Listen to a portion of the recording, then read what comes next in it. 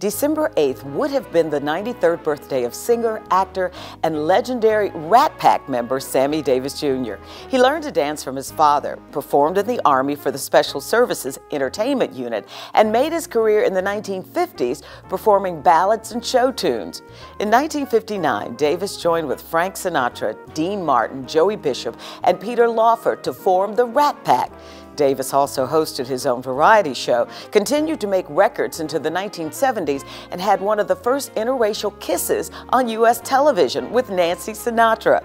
The performer wore a glass eye due to a car accident in 1954 that nearly killed him, an event that also spurred his conversion to Judaism. In addition to his legacy on screen and stage, Davis was also an avid photographer, gunslinger, and political activist, supporting John and Robert F. Kennedy and becoming the first African American to spend the night as a guest in the White House.